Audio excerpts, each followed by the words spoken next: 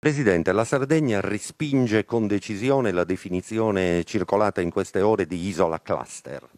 Assolutamente, la Sardegna non ha mai avuto una circolazione virale autoctona, tutti i casi registrati sono di importazione o di ritorno di persone che provengono da zone nelle quali son, ci sono focolai attivi, ben noti e riconosciuti. I sardi hanno fatto grandi sacrifici per preservare l'immunità virale di quest'isola, avevamo raggiunto una condizione pari a zero, Ora la ripresa di questi contagi è dovuta alla circolazione senza controlli che purtroppo è stata adottata come modello da parte del governo, nonostante noi avessimo proposto una soluzione completamente diversa.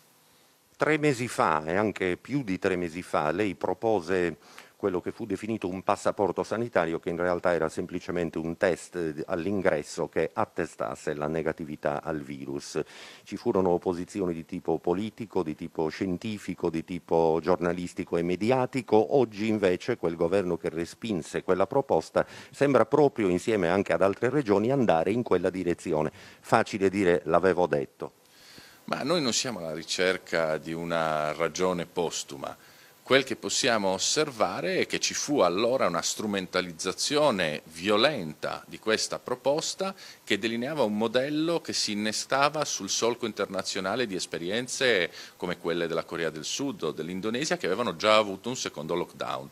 Chiedere cioè ai passeggeri di poter presentare assieme alla carta d'imbarco un certificato attestante che si era tenuto un test che aveva dato esito negativo significava e significa evitare che il virus torni a circolare, che ci sia una recrudescenza. Era una proposta di buonsenso che abbiamo sostenuto con forza allora e che ripetiamo anche oggi, che il governo ha mutato orientamento e sta adottando un eh, modello simile per quanto riguarda i passeggeri di rientro da Spagna, Croazia, Malta. Il tema però non è effettuare i test negli aeroporti e nei porti dove è sicuramente difficoltoso, quanto piuttosto chiedere ai passeggeri di presentarsi all'imbarco già col risultato del test effettuato. In queste ore è circolata anche una voce, diciamo un'ipotesi o probabilmente un'indiscrezione che riguarderebbe una sorta di lockdown per la Sardegna. Ma credo che sia una buttad priva di qualsiasi fondamento. Se ci fosse verità anche minima in un'affermazione di questo tipo saremmo all'assurdo la Sardegna che è riuscita ad avere la più bassa circolazione virale d'Italia e che ancora oggi, nonostante i casi di importazione, continua a non essere tra le prime 5, 6, 7, 8 regioni che hanno circolazione di indice RT superiore a 1, sarebbe in questo modo chiusa e penalizzata con un attacco frontale al sistema economico produttivo e alla sua reputazione turistica. Su questo diciamo con forza che non accetteremo in nessuna sede un'impostazione di questo tipo e adotteremo tutte le misure necessarie per tutelare il nome della Sardegna e i sacrifici fatti dai sardi. Presidente, la stagione turistica, una stagione turistica difficile, sofferta, comunque prosegue. Come portarla a compimento nel modo più soddisfacente per i turisti e anche per il tessuto economico sardo?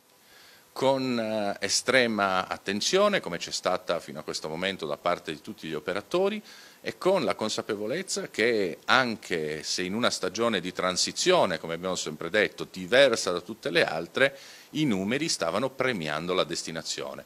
Abbiamo raggiunto circa 7 milioni di presenze, che sembrava un risultato impossibile, se non ci fosse stato tutto questo battage mediatico e questa campagna che si sta facendo contro la Sardegna, contro il turismo in Sardegna, avremmo chiuso questa stagione sicuramente con numeri molto confortanti.